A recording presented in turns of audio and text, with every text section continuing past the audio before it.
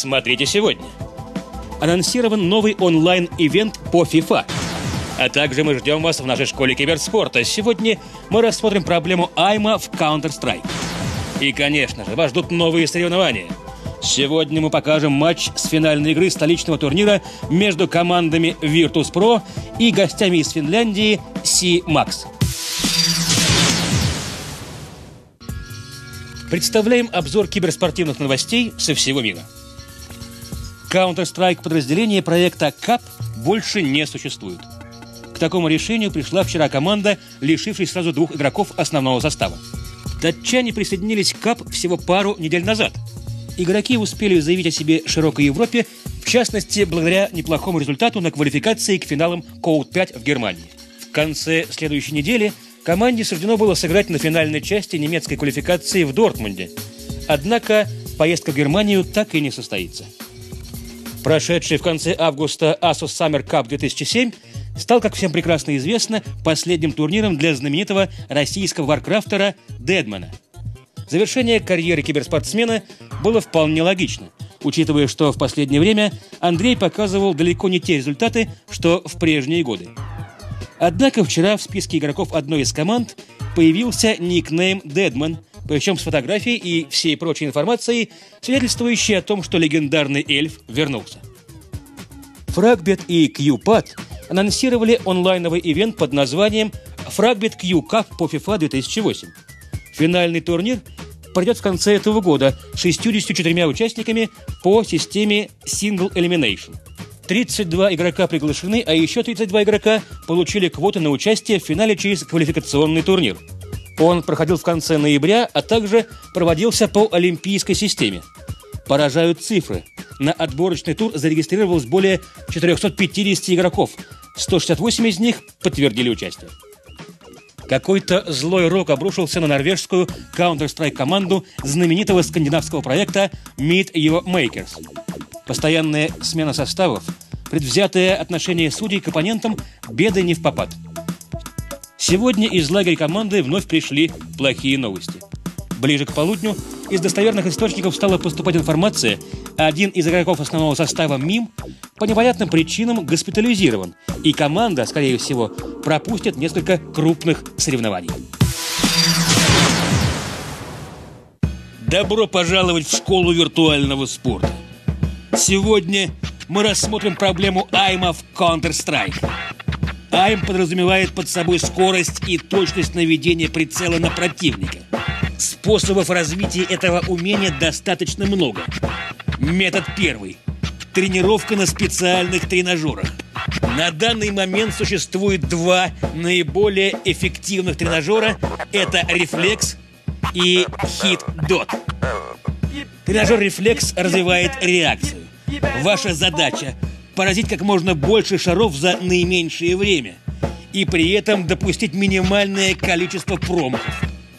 Хорошим считается результат от 450 тысяч. Тренажер HitDot развивает точность.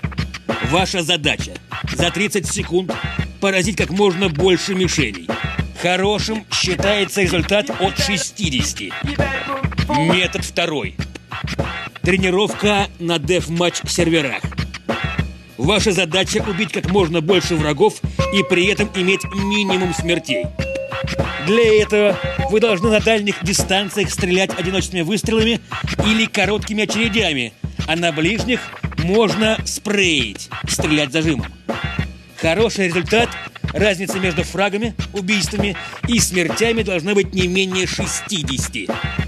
Мы – виртуальная школа. Учитесь на пятерке, пока бесплатно. Разойдись.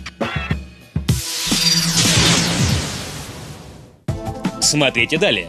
Новая компьютерная мышь, которая по совместительству может служить также и телефоном. И, конечно же, вас ждут новые соревнования. Сегодня мы покажем матч с финальной игры столичного турнира между командами Virtus.pro и гостями из Финляндии C-Max.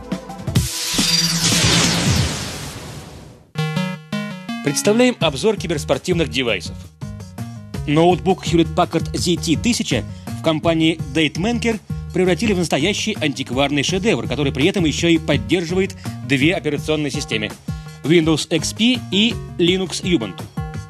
Компьютер включается с оборота ключа, как музыкальная шкатулка. Все материалы натуральные и очень дорогие. Корпус выполнен из красного дерева. Кнопки, окантовки и входы для разъемов сделаны из чистого золота.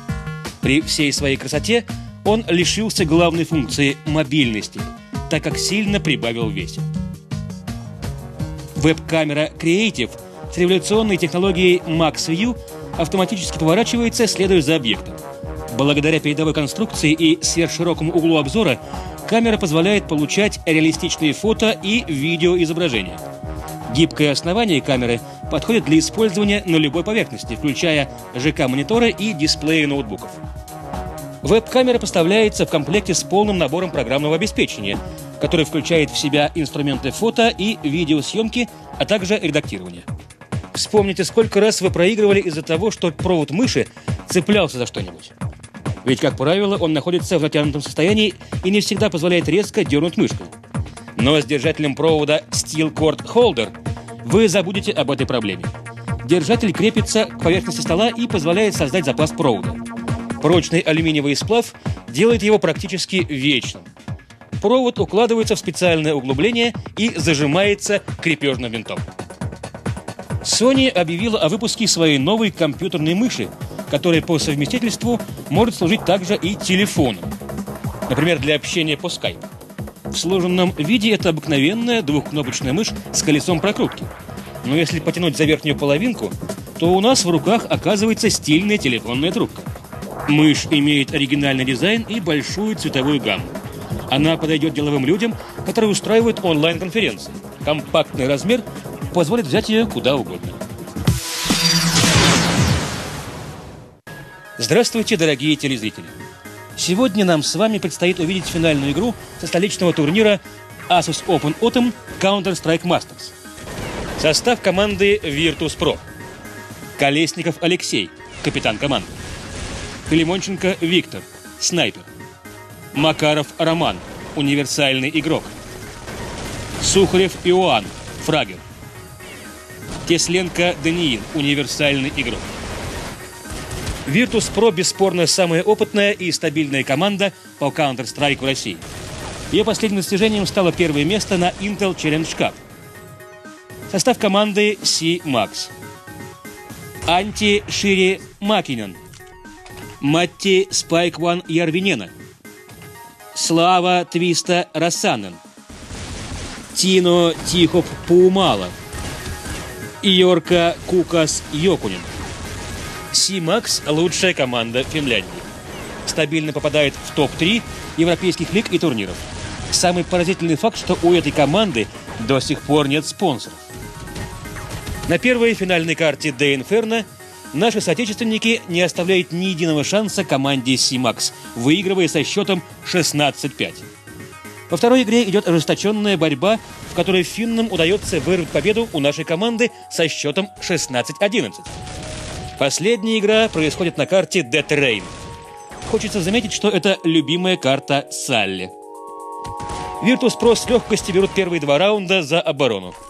В третьем раунде у финнов первый закуп, но Эдвард делает минус 3 на открытом, убивая Шире, Спайкуана и Кукаса, тем самым не оставляя шансов финнам взять этот раунд.